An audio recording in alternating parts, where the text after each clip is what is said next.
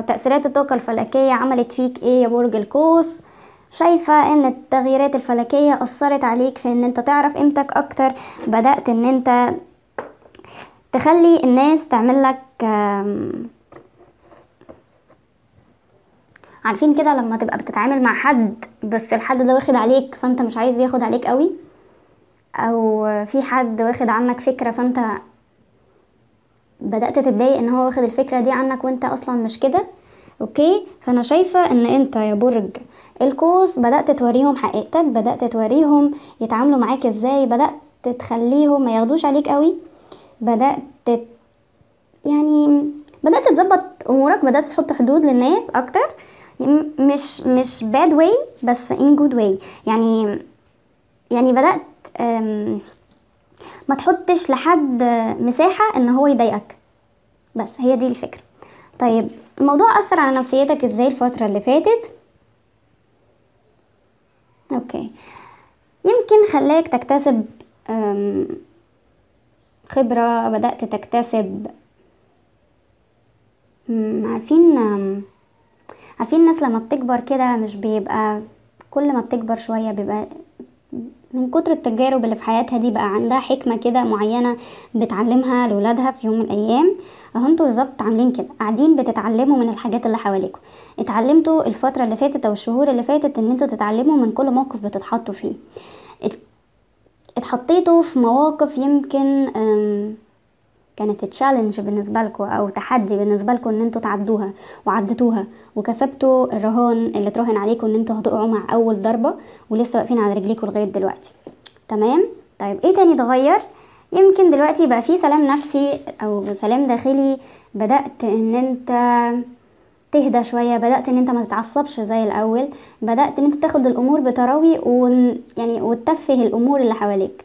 يعني الناس اللي حواليك بتتعامل وفي ثورة وفي في دنيا والعة حواليك في البيت وانت بالنسبة لك هم شوية وهيهدوا خلاص. عارف اللي هو بدأت إن أنت تستغنى عن فكرة إن في حاجة بقت مهمة أصلا إن أنت تقوم تنتفض عشانها. الموضوع مش سياسة خالص. يعني مش بتكلم في السياسة أنا بتكلم على أمور بتحصل جوه البيت أمور بتحصل في حياتك العادية. آه شايفة كمان إن أنت لما بيبقى في حاجة مشتتاك عن اللي بيحصل حواليك بترجع قوي يعني تركز أو بترجع قوي إن أنت تحط الحاجات في نصابها. بطلت إن أنت شايفة إن أنت بقيت كبير شوية يعني كبرت كبرت شخصيتك شوية لدرجة إن أنت بقيت تتعفف إن أنت تتعامل مع الحاجات أو الأمور الصغيرة قوي. لما لما حاجة تقتضي ان هي ان انت تت يعني تاخد اكشن فيها بدأت ان انت تعمل كده. آه على فكرة الطاقة دي حلوة ومش سهل ان حد يوصل لها بسرعة.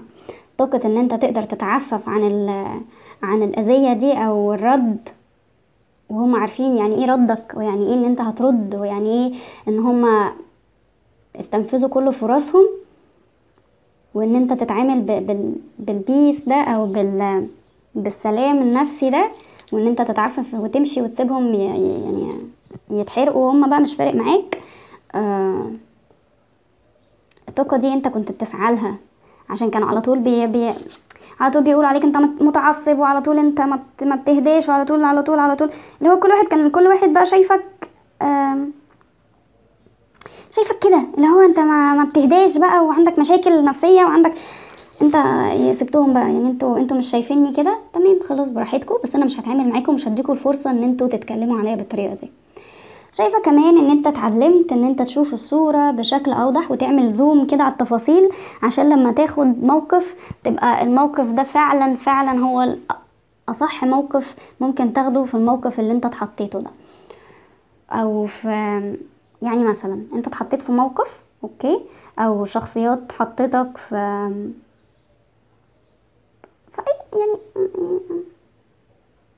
اتحطيت في حاجة أنت مش بتاعتك خلاص؟ وقرروا إن هما بغباوة يعني إن هما يشيلوك أنت الحمل أو يشيلوك أنت العواقب okay؟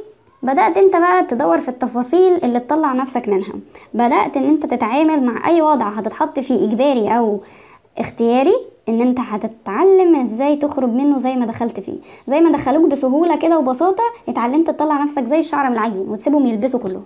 أنا حاسة إن أنت بقيت بهدوءك ده إن أنت بقيت بتتعامل بترد الصعصعين طيب إيه تاني اتغير في شخصيتك يا برج القوس؟ اتعلمت إن أنت تشفي نفسك بنفسك إن أنت وقت ما تنجرح وتتعب وت- وتتخنق تقفل على نفسك يوم يومين. تحاول بقى إيه آه ترتب وتفلتر حياتك وتفلتر الناس دي من حياتك وترجع أقوى من الأول. خلاص؟ فأنا شايفة إن أنت بدأت إن أنت تتعلم حاجات كده في شخصيتك إن أنت عارف إن أنت بقيت أقوى إن أنت عارف إن أنت مبقاش حد يهمك بقى خلاص. يعني هيعملوا إيه؟ إيه تاني اتغير في حياتك؟ بدأت تفتح لنفسك بوابات وتقفل لنفسك بوابات. يعني الباب اللي يجيلك منه الريح سد واستريح. بدأت ماشي بمبدأ الباب ده لو أنا عايز وعارف إن وراه خير هكسره وأعدي وآخد الخير ده.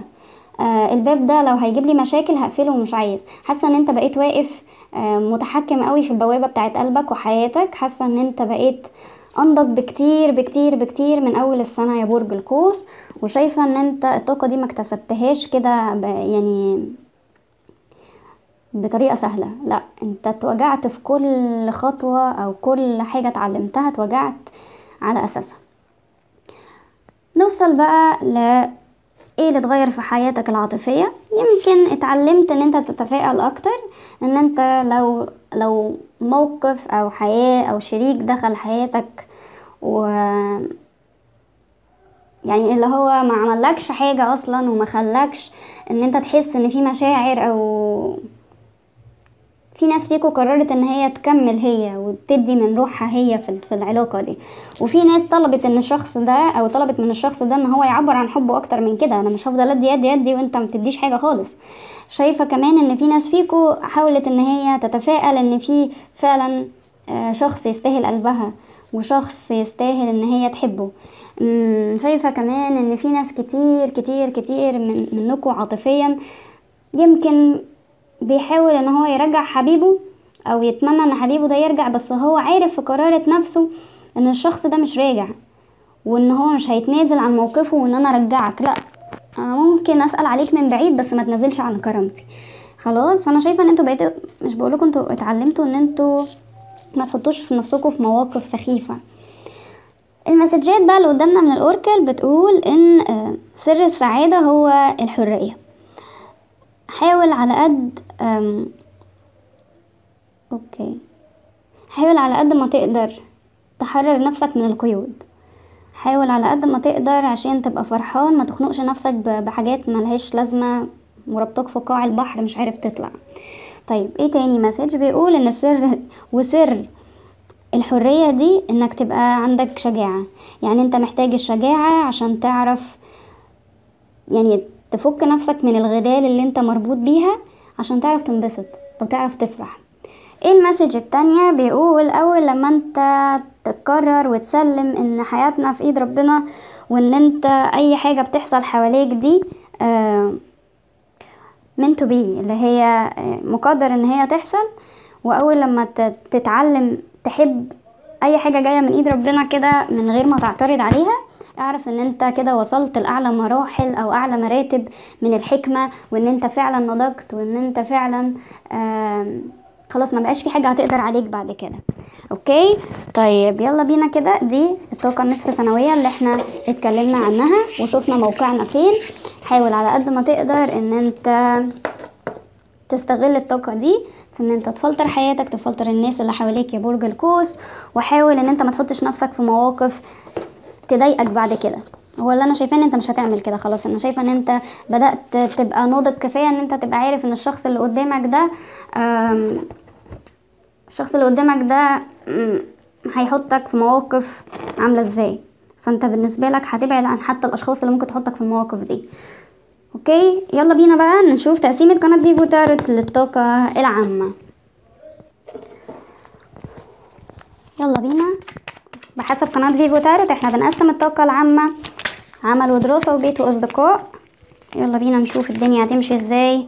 كده نوصل لأسبوعنا العادي نشوف إيه اللي هيحصل. بحسب قناة فيفو تارت أول طاقة عامة معانا هي طاقة العمل. okay. طاقة العمل يا برج القوس. بتقول إن أنت الفترة اللي جاية هتنعم بالمكاسب اللي أنت كنت بتحققها. بعد يعني بص انت كنت بتشتغل شغل من نار okay؟ وكنت تقريبا تقريبا كل يوم تروح من كلام المديرين يعني مقهور وزعلان خلاص؟ وشايفة إن كانت الخناقات بينك وبين زمايلك في الشغل كانت كبيرة جدا وشايفة إن الموضوع وصل معاك للرحيل أو إن أنت تسيب الشغل ده. شايفة إن أنت بقى اللي عملته كل الفترة اللي فاتت دي وسط كل ده كنت بتشتغل غصب عنهم وحققت التارجت بتاعك وشايفة إن أنت هتقبض مرتبك كامل. وشايفة إن في ناس وصلت فعلا للرحيل واشتغلت شغل تاني والمكاسب المادية بتاعته أعلى من المكاسب المادية اللي كانت في الشغل القديم. طيب نوصل بقى بحسب قناة فيفو تارت للطاقة التانية هي طاقة الدراسة. طاقة الدراسة. بتقول إن في فرصة نجاح موجودة للناس اللي بتذاكر. بمعنى شايفين الكارت ده هو شايل tools tools كده في جنابه. شاكوش ومفك وحاجات كتير كده. ممكن تكون أنتوا بتدرسوا حاجة ليها علاقة بالهندسة أو ليها علاقة بأشغال فنية. حاجات كده يعني آه، فيها ماتيريالز وشايفة إن أنتوا كنتوا يعني داخلين ال- الدراسة دي بالذات عشان تشتغلوا بيها. ممكن كمان دي تكون كورسات. فأنا شايفة إن في ناس فيكم هتنجح. بس أنا شايفة إن في ناس واقفة كده في نص الطريق وقالت أنا تعبت ومش عايزة أكمل. هي الفرصة موجودة في آخر النفق اللي أنت موجود فيه ده. العتمة دي هيبقى في آخرها نور. عايز تكمل النفق هتقدر تكمله وتنجح. مش عايز تكمل النفق وهتقول أنا تعبت وقعدت ما تسألش على حاجة. تمام؟ خلينا متفقين. إحنا ناس كبيرة وناضجة. طيب نوصل بقى لإيه؟ للحلقة التالتة أو الطاقة التالتة من الطاقة العامة. إحنا لسه في الحلقة الأولى يعني أنا قصدي إن إحنا في الطاقة العامة في تالت طاقة.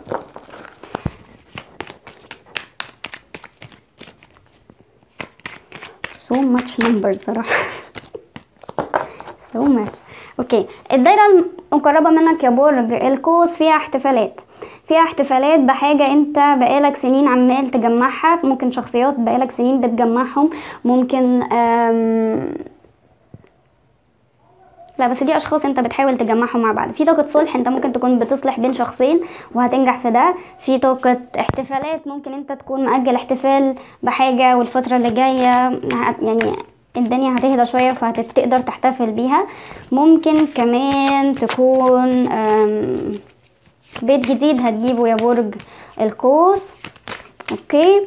ودي الطاقة العامة. نوصل بقى للطاقة العاطفية بحسب قناة فيفو تاروت ونشوف أول طاقة معانا. طاقة single برج القوس. طاقة single برج القوس بيقول إن أنت هتتعرف على شخص جديد عن طريق أصدقائك. بمعنى إن في شخص ممكن يكون هو فعلا من أصدقائك ده وابتدى يحس بمشاعر ناحيتك. ومعنى تاني إن ممكن حد من أصدقائك يجيب لك شخص يعرفك عليه الفترة اللي جاية بنية زواج اللي هو من النوع اللي بيوفق راسين في الحلال. وشايفة إن الشخص ده من برج مائي وهيبقى فيه زواج فعلا. يعني العلاقة يمكن هتبقى في أولها كده اللي هو تعارف عادي وبعدين الموضوع هيتطور إن أنتوا هيبقى فيه مشاعر فعلا بينكوا. الشخص ده هيخفف عنك كتير الشخص ده يمكن يمكن من النوع اللي هو الحنين شوية. فأنت بتحب الحنية دي بتدور على الدفى ده بالذات فهتتقبله بسرعة يعني. طيب الطاقة التانية العاطفية بحسب قناة فيفو تاروت هي طاقة منفصلين برج القوس وبيقول إن okay في شخص هيعرف قيمتك الفترة اللي جاية. هنشوف الشخص الجديد ولا الشخص القديم. لو بتسأل بقى عن شخص قديم شايفة إن الشخص القديم تقريبا أنت عامله block فمش عارف يتصل بيك. تقريبا. لا هو يعني هو أنت هو مش مش لاقي مكان يتواصل معاك بيه. وشايفة إن أنت قاعد في مكان كده اللي هو مش أنت اللي عملت كده فتستاهل. لو أنا حاسة إن أنت قاعد قوي في مكان آه، أكنك بتعاقبه على على الطريقة اللي عاملك بيها. طب هو عايز يتواصل معاك يعني فيا تفتح البلوكات يا تشوف لك صرف عشان هو عايز يتصل بيك. لو انت عايزه لو انت مش عايزه دي حاجة ترجع لك.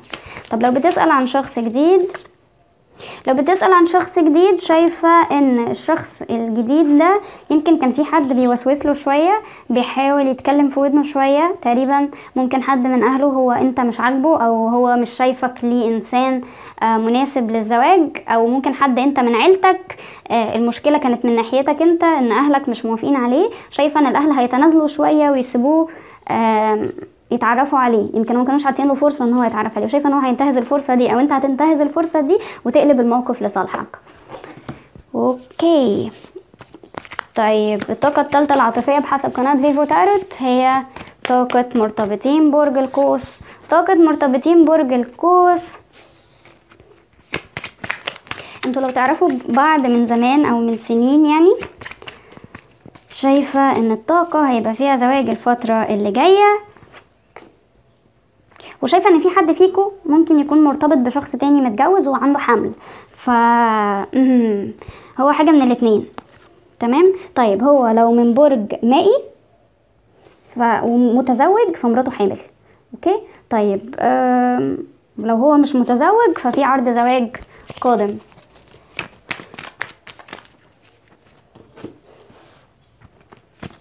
طيب نوصل للطاقة الرابعة.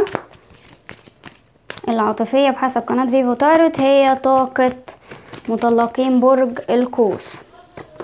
طاقة مطلقين برج القوس في أقنعة هتسقط في ناس هتكتشفها على حقيقتها في ناس كده هتعرف إن هي آه غلطانة إن هي إن هي مشيت أصلا. يعني هي تقريبا ساب سابوا البيت الأول بعدين الموضوع اتطور لما حد اتدخل في الموضوع فاتطلقتوا.